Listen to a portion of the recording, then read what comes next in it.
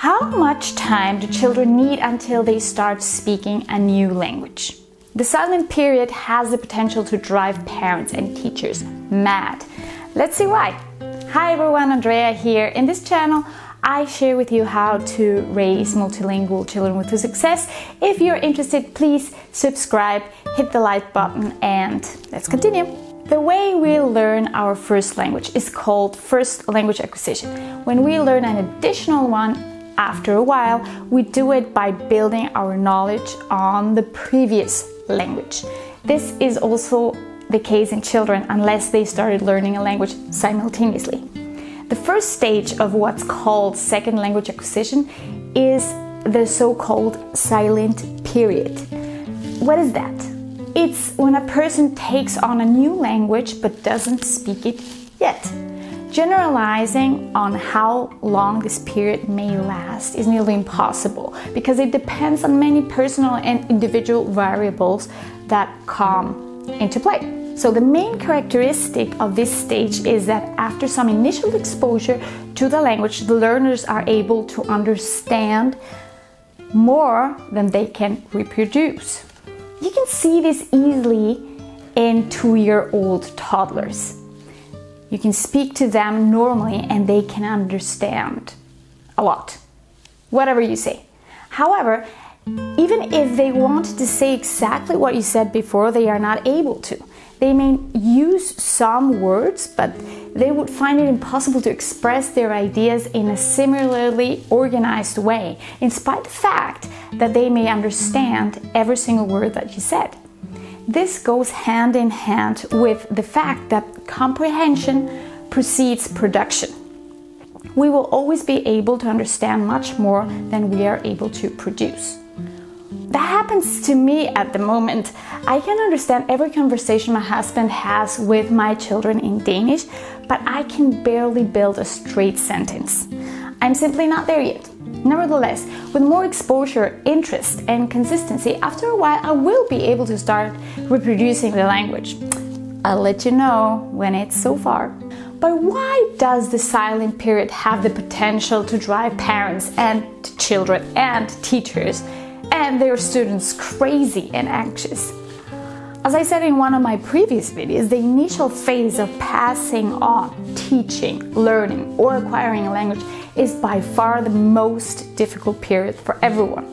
Once you are past that initial hurdle, things tend to become easier. If you're introducing a new language to your children, remember to relax and don't place a heavy burden on yourselves. Here's why. I once had a father of a second grader that was already impatient and almost angry, complaining about his son's lack of progress because he had been having six months of intensive German lessons with me and was still not uttering a word. It took me a while to calm the dad down and make him see that his son's language development was just fine. His language cup was just not full yet. What the child needed was just more time. And that was exactly how it was.